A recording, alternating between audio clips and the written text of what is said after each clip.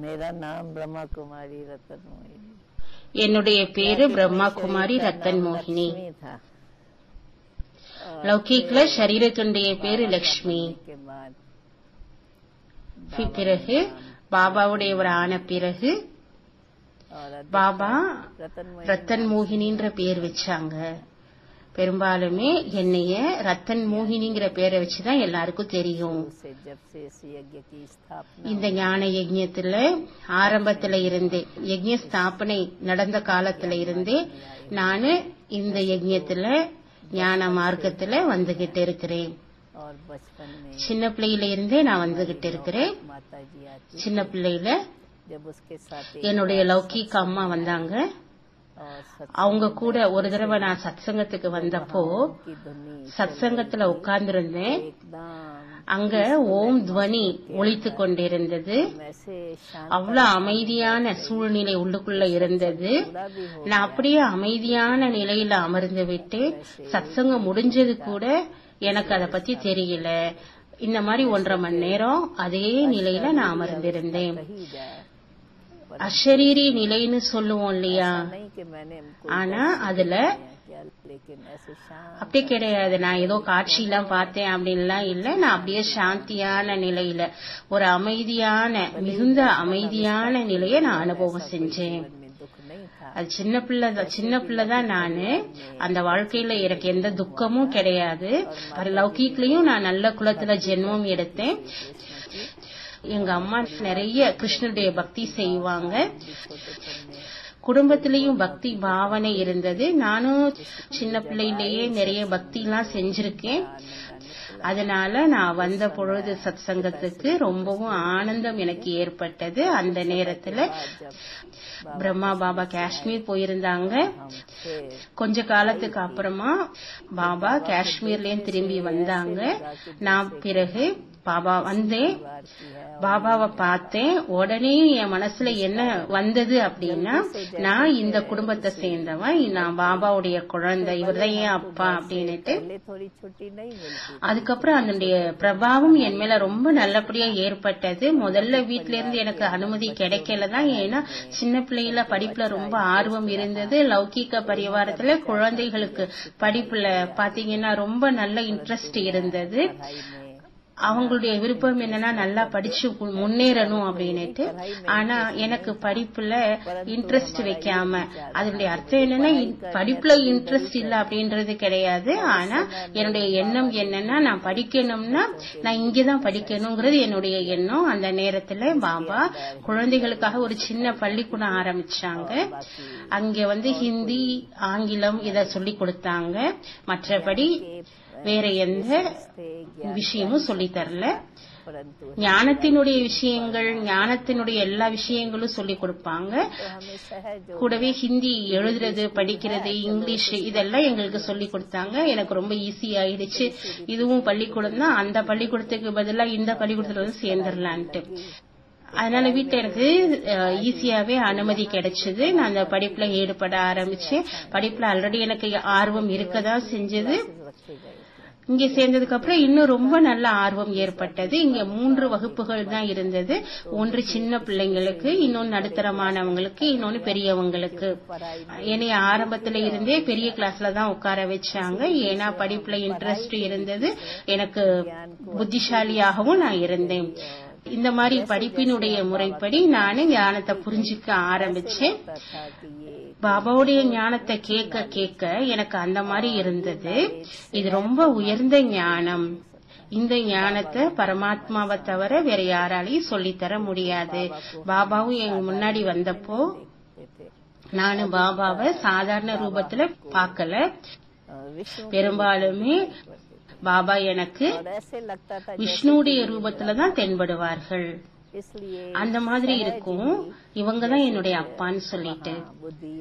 அதனால ஈஸியாவே அங்கேயே புத்தியின் தொடர்பு ஏற்பட்டு விட்டது. ஒரு பக்கம் படிப்புல உள்ள படிப்புல உள்ள ஆர்வம் இன்னொன்னு ஞானத்துல எனக்கு ரொம்பவும் ஆர்வம். அதை கேட்டுக்கிட்டே இருப்பேன் ஸ்கூல்ல இருந்து வீடு வரைக்கும் போற வரைக்கும் அதை பத்தின சிந்தனையே உள்ளுக்குள்ள ஓடிக்கிட்டே இருக்கும். இந்த வாழ்க்கை ரொம்ப உயர்ந்த வாழ்க்கைன்னு எனக்கு தோணும். நான் சின்ன பிள்ளை தான். ஆனா சின்ன பிள்ளையில ஞானத்தினுடைய உயர்வின் காரணத்தினால நான் எனக்கு நான் சின்ன பிள்ளைங்கிற எண்ணமே வந்தது கிடையாது. பாபாவுடைய உயர்ந்ததிலும் உயர்ந்த விஷயங்களை கேட்கும் போது எனக்கு அந்த மாதிரி இருந்தது. நான் இந்த மாதிரி ஒரு உயர்ந்த வாழ்க்கையை உருவாக்கிக்கணும்ட்டு என்னுடைய எண்ணங்கள்லயும் அந்த உயர்ந்த தன்மை தான் இருந்தது. இந்த மாதிரி நான் இந்த ஞானத்துல முன்னேற ஆரம்பிச்சேன் கொஞ்ச காலத்திலேயே ஹைதராபாத்ல இருந்து எல்லாரும் கராச்சிக்கு போனாங்க. நானும் கராச்சிக்கு போனேன். அப்பொழுதிலிருந்தே நான் பாபா கூட இருக்க ஆரம்பிச்சிட்டேன். இந்த படிப்புல நல்லபடியா முன்னேறி வளர ஆரம்பிச்சேன். போக போக அந்த நேரத்துல தன்னுடைய படிப்பு மட்டும்தான் இருக்கும். ஆரம்பத்துல காலையில இருந்தே ராத்திரி வரைக்கும் என்னென்ன டைம் டேபிள் பாபா சொல்லி இருந்தாங்களோ அதுல எழுதுறது படிக்கிறது கூடவே நம்முடைய யோகம் இருந்ததுலயே காலையில எழுந்து யோகம் செய்வது. அதுலயும் எனக்கு ரொம்பவுமே இன்ட்ரெஸ்ட் இருக்கும். என்ன கேட்டமோ அதை எங்களுக்குள்ள உட்கார்ந்து டிஸ்கஸ் பண்ணுவோம். யாரு வந்தாலுமே கூட ஞான சர்ச்சையை தவிர வேற எதை பத்தியும் நாங்க பேசவே மாட்டோம். ரொம்ப ஈஸியாவே உலக வாழ்க்கையில இருந்து புத்தியின் தொடர்பு விலகிடுச்சு. அந்த அளவுக்கு விலகிடுச்சு. நாங்க வெளி உலகத்துல இருந்தே வந்திருக்கிறோம். வேற ஏதோ உலகத்திலிருந்து வந்திருக்கோன்ற எண்ணமே இல்லை. அந்த மாதிரி இருந்தது. பாபா கூட சேர்ந்து இதே காரியத்துல உலக நன்மைக்காக தான் நாம வந்திருக்கிறோம்னு சொல்லிட்டு அப்புறமா அதே காரியத்திலேயே நான் ஈடுபட ஆரம்பிச்சிட்டேன்.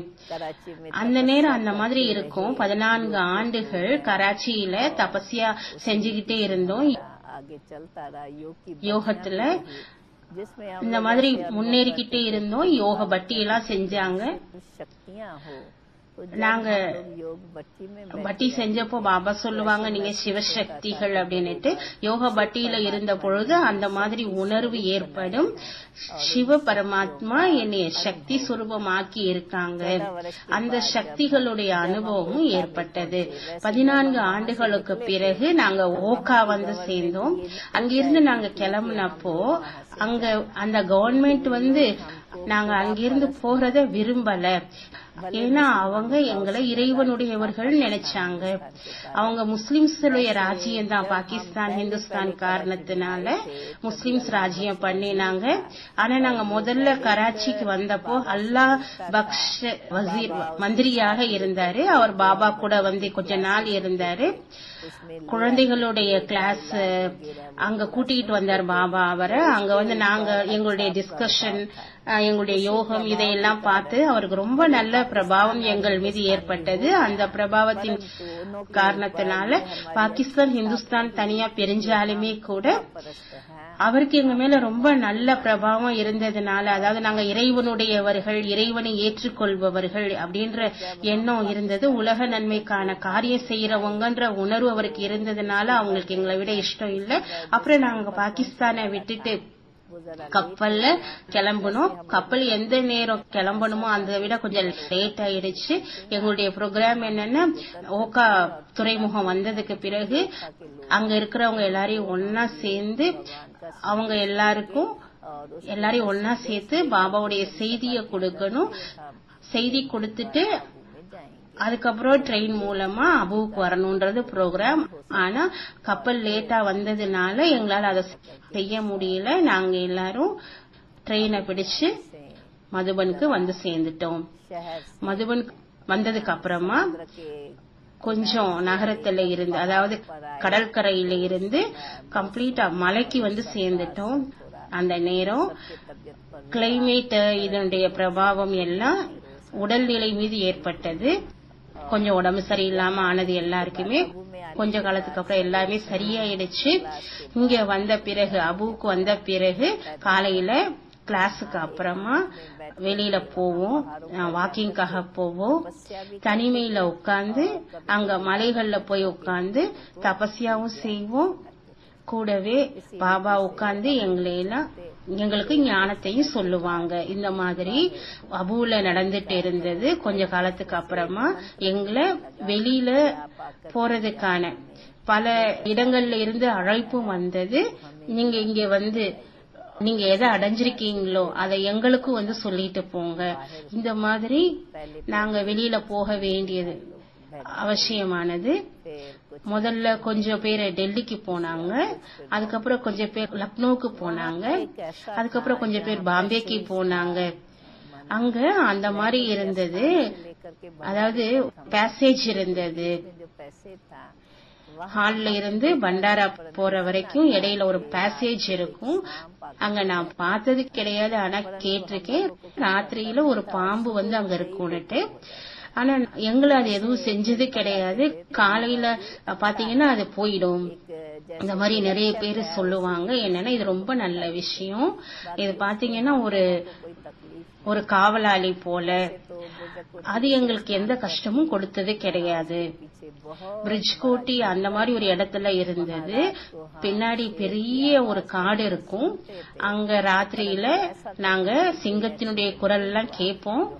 ஆனா எந்த ஒரு ஆக்சிடென்ட்டும் நடக்கல. எங்ககிட்ட எந்த மிருகமும் வந்தது கிடையாது. நஷ்டத்தை ஏற்படுத்தும் படியாக. இதையெல்லாம் கேட்டு ஏன்னா நாங்க என்ன நினைக்கிறோம்னு நாங்க பகவான் கூட இருக்கிறோம்னு அதனால அந்த விஷயத்தினுடைய பயம்லாம் அந்த நேரம் எங்களுக்கு வந்தது கிடையாது. பாபா கூட சேர்ந்து போறப்போ பெரும்பாலும் பெரிய பெரிய மலைகள்ல போய் உட்காருவோம். உட்கார்ந்துருக்கும் போது எல்லையற்ற நிலையில இருக்கிறோம். யோகா அபியாசம் பண்ணிக்கிட்டு இருக்கோன்ற ஃபீலிங் வரும். அந்த மாதிரி இருந்தது. எல்லையற்றதுல நாங்க அமர்ந்திருக்கிறோம். எல்லையற்ற உலகத்தின் எஜமானர்கள். அத நடைமுறையில நாங்க அனுபவம் பண்ணிக்கிட்டு இருந்தோம். முழு உலகத்துக்கும் நாங்க எஜமானர்கள். முழு உலகத்தினுடைய தந்தை முழு உலகத்தையும் அனுபவம் பண்ணிக்கிட்டு இருக்காங்க. இந்த மாதிரி எல்லையற்றதில் அமர்ந்து யோக தபஸ்யா செய்வது அதில் ரொம்ப நல்ல ஆனந்தம் ஏற்படும். நாங்க எவ்வளவு நேரம் அங்க இருந்தோமோ நான் நினைக்கிறேன். அவுல பிரிட்ஜ் கோட்டையில நானு ஐம்பதுல இருந்து ஐம்பத்தி நாலு வரைக்கும் நான் இருந்தேன். நாலு வருஷங்கள். முதல்ல ஐம்பது ஐம்பத்தி ஒன்னுல வச்சுக்கோங்களேன். ஐம்பத்தி ஒண்ணுல இருந்து ஐம்பத்தி நாலு வரைக்கும் டெய்லி காலையில கிளாஸுக்கு அப்புறமா வாக்கிங்க்கு போவோம் நாங்க. அப்போ பாபா கூடவே இருப்பாங்க. உயர்ந்த உயர்ந்த மலை. அபுவினுடைய அந்த மாதிரி ஒரு மலை நாங்க போகாத இடமே கிடையாது. அங்கிருந்து நாங்க நடந்தே போவோம். ஒரு தடவை மவுண்ட் அபுல இருந்து அபரோடு வரைக்கும் கூட நடந்து போனோம். அங்க அபுவினுடைய மக்கள் எல்லாரும் ஒன்னா சேர்ந்து இருந்தாங்க பெரிய சபையா இருந்தது. பாபா அவங்க கூட பேசினாங்க. நாங்க அவங்களுக்கு பரமாத்மாவுடைய அறிமுகம் கொடுத்தோம். அப்புறமா அங்கிருந்து நாங்க எல்லாரும் வெளியில கிளம்பினப்போ சேவைக்காக வெளியில போனோம். ஹரித்வார்ல ஒரு மாநாடு நடந்தது. அங்கிருந்து அழைப்பு வந்தது. அங்க நாங்க பண்ணின சொற்பொழிவு அவங்களுக்கு ரொம்ப பிடிச்சது. பிறகு கொஞ்ச நாளைக்கு அப்புறமா ஜப்பான்ல இருந்து அழைப்பு வந்தது. அப்போ முதல் முறையாக வெளிநாட்டுக்கு யாத்திரை பாபா எங்களை அனுப்பி வச்சாங்க. சாதாரணமா சொன்னா எங்களுக்கு உலகத்தை பத்தி எதுவுமே தெரியாது. ஏன்னா யஜ்யத்துக்குள்ளேயே இருந்துட்டோம். அங்கேயே தபஸ்யா பண்ணிக்கிட்டும் இருந்தோம். முதல் முறை நாங்க ஜப்பானுக்கு ஜப்பான்ல இருந்து அழைப்பு வந்த பொழுது பாபா நாங்க ரெண்டு சகோதரிகளை அனுப்பி வச்சாங்க. அங்க போன பிறகு அந்த மாதிரி இருந்தது. நாங்க சின்னவங்க தான் ஆனா அந்த மாதிரி இருந்தது. பகவான் எங்களை அனுப்பி இருக்காங்க. இது பகவானுடைய சேவை. அதனால யார பார்த்தாலுமே எதை பார்த்தாலுமே புதுசா தெரியல. ஏன்னா என் புத்தியில என்ன இருந்ததுன்னா பாபாவுக்கு எங்க மூலமா என்ன சேவா பண்ண வைக்கணும்னு நினைக்கிறாங்களோ அதை நாம பார்க்கலாம். அங்க போனதுக்கு அதாவது முதல்ல அங்க போய் அவங்க எல்லாம் பார்த்தப்போ அவங்க எல்லாம் எங்களுக்கு ரொம்ப புதுமையா தெரிஞ்சாங்க. லௌகீக ட்ரெஸ்ஸும் சரி. அவங்களுடைய முகம் பார்த்தாலும் சரி. பிலிப்பியன்ஸ் குரூப் ஒருத்தவங்க வந்திருந்தாங்க. ஏன்னா அங்க விஸ்வசாந்தி மாநாடு நடந்தது. அதுல பிலிப்பியன்ஸ் குரூப் வந்திருந்தாங்க. அந்த நிறைய பேர் வந்திருந்தாங்க. அதுல பிலிப்பியன்ஸ் குரூப்பும் ஒரு குரூப் வந்திருந்தாங்க. அதுல பாத்தீங்கன்னா பெண்களுக்கு ஆண்கள் ட்ரெஸ் அணிஞ்சிருந்தாங்க. ஆண்கள் பெண்களுடைய ஆடையை அணிந்திருந்தார்கள். இந்த மாதிரி தான் முதல் முறையாக நாங்க பார்த்தோம். ஆனா அது பார்த்தா ஆச்சரியம்லாம் வரல. ஏன்னா உலகத்துல விதவிதமான மனிதர்கள் இருப்பாங்க. பாபா அந்த மாதிரி இடத்துக்கு நம்மள அனுப்பி இருக்காங்க.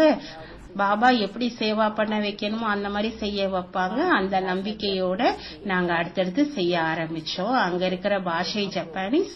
கொஞ்சம் பேருக்கு இங்கிலீஷ் தெரியும். நாங்க அவங்க கூட இங்கிலீஷ்ல தான் பேசினோம்.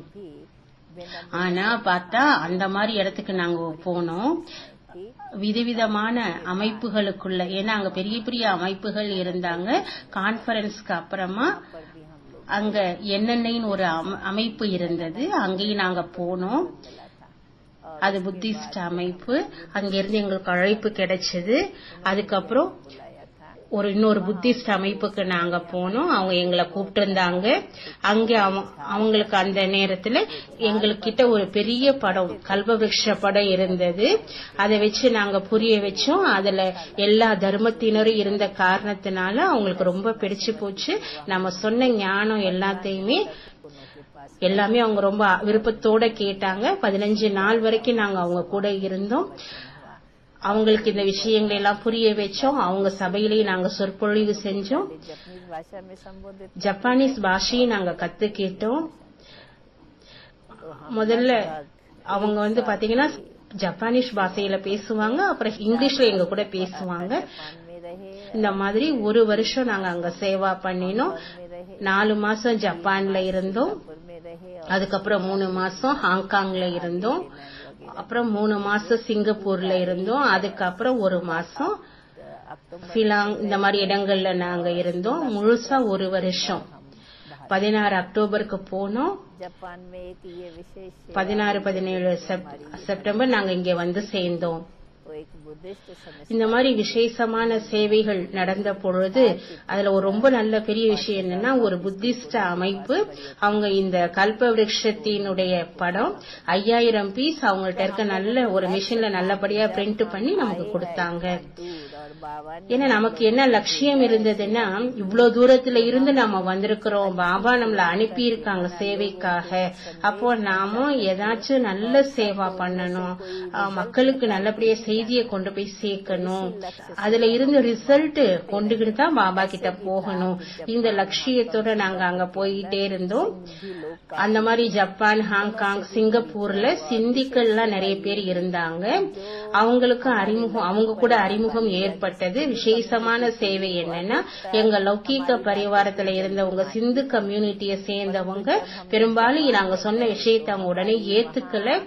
ஆனா நாங்க ஜப்பானுக்கு போனப்போ எங்களுடைய எங்களுக்கு அழைப்பு அங்கிருந்து அழைப்பு கிடைச்சது. எங்களுடைய இந்த மாதிரி சேவைகளை எல்லாம் பார்த்து அவங்களுக்குள்ளேயும் நல்ல பிரபாவம் ஏற்பட்டது. அவங்களும் அங்கே ஜப்பான்ல இல்ல ஹாங்காங்ல சிங்கப்பூர்ல எங்களுக்கு அழைப்பு கிடைச்சது.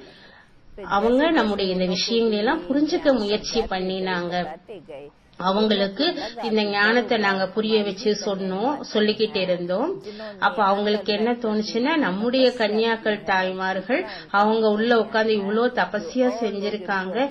இவ்வளோ உயர்ந்த ஞானம் இவங்களுடையது.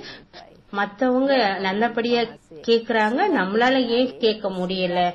அதுக்கப்புறம் நாங்க அங்கிருந்து சிங்கப்பூருக்கு வந்த பொழுது சிங்கப்பூர்ல குஜராத்தி கம்யூனிட்டியில இந்த விஷயத்த நல்லபடியா அவங்க எல்லாரும் கேட்டாங்க. அங்க காந்திலால் ஷான் ஒருத்தர் இருந்தாரு. அவர் வீட்டுல இருந்து அழைப்பு கொடுத்தாரு. பதினஞ்சு நாள் அவர் வீட்டுல நாங்க இருந்தோம். பதினஞ்சு நாளைக்குள்ள காலையில நாங்க காலையில மூன்றரை மணிக்கு எந்திரிச்சு உட்காந்து நாலு மணில இருந்து அஞ்சு மணி வரைக்கும் யோகா பண்ணுவோம் அவர் எங்க கூட சேர்ந்து உட்காந்து யோகா பண்ணுவாரு. அதுக்கப்புறம் எங்களுடைய விஷயங்கள்லாம் அவர் கேட்பாரு அவருக்கு ரொம்ப பிடிச்சு போச்சு இது ஈஸ்வரிய ஞானம். இது வாழ்க்கையை ஹையஸ்ட் ஆக்கக்கூடியது. அப்புறம் அவர் தன்னுடைய கம்யூனிட்டியில இத பத்தி பேசினாரு. குஜராத்தி கம்யூனிட்டியினுடைய பிரசிடென்ட் செக்ரட்டரி அவங்க எல்லாரும் பதினஞ்சு பதினஞ்சு நாள் அவங்க கூட இருக்கிறதுக்கான அழைப்பு கொடுத்தாங்க. இந்த மாதிரி மூணு பேர்கிட்ட நாங்க இருந்தோம். அதுக்கப்புறம் இந்த விஷயங்கள்லாம் புரிய வைக்க ஆரம்பிச்சோம். அதுக்கப்புறம் அவங்களுடைய தொடர்பு ஏற்பட்டது யஜ்யத்தோட யஜ்யத்துல கரஸ்பாண்டன்ஸ் மூலமாக யஜ்யத்துல கனெக்ஷன்லயே அவங்க ரொம்ப நாள் இருந்தாங்க. இந்த மாதிரி முழுமையாக பதினோரு பன்னிரெண்டு மாதங்கள் ஃபாரின் டூர் போனோம். அதுக்கப்புறம் பாரத நாட்டுக்கு வந்தோம். பாரத நாட்டுல அந்த மாதிரி இருந்தது. நாங்க சேவைக்காக போனப்போ ஜப்பான்ல இருந்து நாங்க வந்த பொழுது சித்திரக்கூடத்துல இருந்து சாதுக்களுடைய மாநாட்டினுடைய அழைப்பு கிடைச்சது. நாங்க பாம்பேக்கு வந்து சேர்ந்ததுமே பாபா அந்த அழைப்பை எங்க கிட்ட கொடுத்து நீங்க எல்லாரும் அந்த மாநாட்டுக்கு போகணும்னு சொன்னாங்க. நாங்க ரெண்டு சகோதரிகளும் ஒரு பிரதரும் ஜப்பான் போயிருந்தோம். தாதி பிரகாஷ் மணி நானு அப்புறம் ஆனந்த் கிஷோர் தாதா. நாங்க மூணு பேருமே சித்திரக்கூடத்திற்கு சாது மாநாட்டுக்கு நாங்க போனோம். அங்கே வந்ததுக்கு அப்புறமா எவ்வளோ சென்டர்ஸ் நமக்கு அந்த நேரத்தில் லக்னோவில் கான்பூரில் டெல்லியில் இந்த மாதிரி எல்லா சென்டருக்கும் நாங்க போயிட்டு அதுக்கப்புறம் அபுக்கு வந்து சேர்ந்தோம். இந்த நேரத்துல நானு மவுண்ட் அபு ஹெட் குவார்டர்ஸ்ல இருக்கிறேன். இங்க பெரும்பாலும் டீச்சர்ஸ் ட்ரைனிங் நடக்கும். குமாரிகளுக்கான ட்ரைனிங் நடக்கும். அதில் நான் ட்ரைனிங் கொடுக்கிறேன். டீச்சர்ஸ் டீச்சர்ஸ் சென்டர்ல இருக்கிறதுக்கான தகுதியானவங்களை ஆக்குறது அந்த ட்ரைனிங் நான் செஞ்சுக்கிட்டு இருக்கேன். இதன் கூடவே ராஜஸ்தானுடைய ராஜஸ்தான்ல இருக்கிற சென்டர்ஸ் அதனுடைய சேவைக்கான காரியத்தையும் நான் செஞ்சுக்கிட்டு இருக்கேன். யஜ்யத்திலையும் எல்லா சென்டர்ஸ் இருக்குது இல்லையா? அங்க அந்த சென்டர்ஸுடைய சர்டிபிகேட்டுக்கான காரியத்தையும் நான் பண்ணிக்கிட்டு இருக்கிறேன். சென்டர்ல இருக்கிற டீச்சர்ஸ் அவங்கள பத்தின எல்லா டாக்குமெண்ட்ஸ் இங்க இருக்குது ஆபீஸ்ல இந்த காரியம் எல்லாம் நான் தான் செஞ்சிட்டு இருக்கிறேன். மற்றபடி ஹெட் குவார்டர்ஸ்ல யாரெல்லாம் சகோதர சகோதரிகள் வர்றாங்க கிளாஸஸ் நடக்குது அதுல நான் என்னுடைய சேவையை செய்துட்டு இருக்கிறேன். இங்க எப்பொழுதிலிருந்து எழுபத்தி ஒண்ணுல வெளிநாட்டுல இங்கிருந்து ஒரு குரூப் போனாங்க. வெளிநாட்டுல அதாவது லண்டன் அமெரிக்கா இந்த மாதிரி ஹாங்காங் சிங்கப்பூர் எல்லா இடத்துக்கும் போயிட்டு வந்தாங்க. அதுல அதுக்கப்புறமா லண்டன்ல சேவா கேந்திரம் உற்பத்தி சேவா கேந்திர ஸ்தாபனை நடந்தது. அப்ப எனக்கும் லண்டனுக்கு போகக்கூடிய வாய்ப்பு கிடைச்சது. ஜூன் எழுபத்தி ரெண்டுல இருந்து ஜான்வரி எழுபத்தி நாலு வரைக்கும். ஏன்னா அங்க அப்பதான் சென்டர் ஆரம்பமானது. அவங்களுக்கு இந்த விஷயங்களை எல்லாம் நல்லபடியா புரிய வைக்க வேண்டிய அவசியம் ஏற்பட்டது. அங்க நான் இருந்த பிறகு முதல்ல இவ்வளவு பேரெல்லாம் வந்தது கிடையாது. மெதுவா மெதுவா அங்க ஒரு எக்ஸ் மே செவன்டி ஃபோர்ல ஒரு எக்ஸிபிஷன் வச்சிருந்தோம். அதுக்கப்புறமா நிறைய பேர் வர ஆரம்பிச்சாங்க. மெதுவா மெதுவா. இன்னைக்கு வெளிநாட்டுல ஐம்பது இடங்கள்ல நம்முடைய சேவாஸ்தானம் நடந்துட்டு இருக்குது. அதனால அங்க இருந்த இன்ஸ்ட்ருமெண்ட் சகோதர சகோதரிகள் ஒவ்வொரு வருஷமும் இங்க ரெஃப்ரெஷ் ஆகிறதுக்காக இங்க வருவாங்க. மவுண்டவுக்கு வர்றாங்க. வெளிநாட்டுல இருக்கிறவங்களுக்கு இங்க ரொம்ப பிடிக்கும். ஏன்னா ஒன்னு யோகத்தின் மூலமாக மனசு அமைதியாகிடுது அவங்க மனசுல என்னென்ன டிஸ்டர்பன்சஸ் இருக்குதோ அதுல இருந்து விடுபட்டு அவங்களுக்கு அமைதி அனுபவம் ஆகும் போது அவங்க வாழ்க்கையில நிறைய மாற்றங்களும் ஏற்படுது. உண்மையிலேயே தூய்மைனா என்ன? தெய்வீக தன்மை என்று எதை சொல்லப்படுகிறது? வாழ்க்கையில தெய்வீக குணங்களுடைய தாரணை என்றால் என்ன? எப்படி வாழ்க்கை சிரேஷ்டமா ஆக்குவது? வாழ்க்கையில எந்த பிரச்சனையும் இல்லாம இருக்கிறது? வாழ்க்கையில திருப்தியான தெய்வீகமான வாழ்க்கையை எப்படி உருவாக்குறது? இந்த மாதிரி எல்லாம் ஞானத்தை அவங்க கேட்க கேட்க புரிஞ்சுக்க புரிஞ்சுக்க அதை அவங்க நடைமுறைப்படுத்துறாங்க. உண்மையிலேயே ஆத்மானா என்ன? மேலும் ஆத்மாவுடைய தொடர்பு சம்பந்தம் யார் கூட பரமாத்மா கூட எப்படி ஏற்படுது? இந்த விஷயங்கள்லாம் புரிஞ்சுக்கிட்டதுக்கு அப்புறமா அவங்க என்ன நினைக்கிறாங்கன்னா மனித வாழ்க்கை மிக உயர்வானது. அந்த உயர்ந்த வாழ்க்கைனா அமைதியும் சுகமான வாழ்க்கை இருக்கணும் பிரச்சனை இருக்கக்கூடாது. இச்சைகள் தான் மக்களை குழப்பம் அடைய வைக்கிறது. அதுல இருந்து பாதுகாப்பாக இருக்கணும். இந்த மாதிரி விஷயங்கள்லாம் கேட்டு விசேஷமா யோகா அனுபவத்தை செய்த பிறகு பரமாத்மா கூட அவங்களுடைய தொடர்பு ஏற்பட்டு விடுகிறது மனசு ஒருநிலைப்பட்டு விடுகிறது. இந்த விஷயங்கள்லாம் அவங்களுக்கு ரொம்ப பிடிக்குது. அவங்க அங்கிருந்து இங்க வந்து புத்துணர்வு அடைஞ்சிட்டு போறாங்க. வேல்யூஸ பத்தி விஷயம் என்னன்னா ஏன்னா மனித வாழ்க்கையில மகான் தன்மை இருக்குது அப்படின்னாலே வாழ்க்கையில நல்ல குணங்கள் இருக்குது அப்படின்னாதான் வாழ்க்கையில ஒருத்தர் மேல ஒருத்தருக்கு மரியாதை இருந்தா வாழ்க்கை உயர்ந்த வாழ்க்கைன்னு சொல்லப்படுது. நமக்கு பிறருக்காக சுப பாவனை இருக்கணும். பிறருக்கும் நம்ம மேல சுப விருப்பங்கள் இருக்கணும். இதனால ஒருத்தர் மேல ஒருத்தர் அன்பு அதிகமாகுது. அன்பு வாழ்க்கையில இருந்ததுன்னா ஒற்றுமை ஒற்றுமை இருக்கும். அந்த ஒற்றுமையின் காரணத்தினால ஒருத்தரை ஒருத்தர் அமைதியும் சுகத்தினுடைய அனுபவமும் ஏற்படும். தங்களுக்குள்ள எந்த டிஸ்டர்பன்ஸ் இருக்காது. மேலும் யூனிட்டி ஒற்றுமை அதாவது தங்களுக்குள்ள ஒன்றா ஒற்றுமையாக இருக்கும் போது மனசுல அமைதி இருக்குது. ஒருவேளை கருத்து வேறுபாடு ஏற்பட்டால் மனசுல டிஸ்டர்பன்ஸ் இருந்துகிட்டே இருக்கும். அதனால இந்த வேல்யூஸ் இதை நாம தெய்வீக குணம்னு சொல்றோம். அத வாழ்க்கையில தாரணை நாம செய்யறோம் அப்படின்னா நம்ம வாழ்க்கை வந்து மகானாக ஆகிவிடுகிறது. அப்புறமா பாரத நாட்டுல நாம இந்த மாதிரி நினைக்கிறோம். நம்முடைய பூஜைக்குரிய தேவி தேவதைகள் அவங்களுடைய வாழ்க்கையில அவ்வளோ தெய்வீகத்தன்மை இருந்தது தூய்மை இருந்தது. அது மாதிரி நம்முடைய வாழ்க்கையும் தெய்வீகமா தூய்மையா ஆக்கிக்கணும். உண்மையிலேயே நம்முடைய பழமையான பாரத நாட்டின் யோகம் ராஜ யோகம் கல்பத்துக்கு முன்பு கூட பரமாத்மா வந்து இதை கத்து கொடுத்தாங்க. இப்பவும் அதே பரமாத்மா வந்து ராஜயோகத்தை கத்து கொடுத்து நமது வாழ்க்கையை பவித்திரமானதாகவும் தெய்வீகமானதாகவும் ஆக்குகிறார். ஆக்குகிறார்கள் அதனால பகவானுடைய மகா வாக்கியம் தூய்மையாகுங்கள் யோகியாகுங்கள். ஓம் சாந்தி.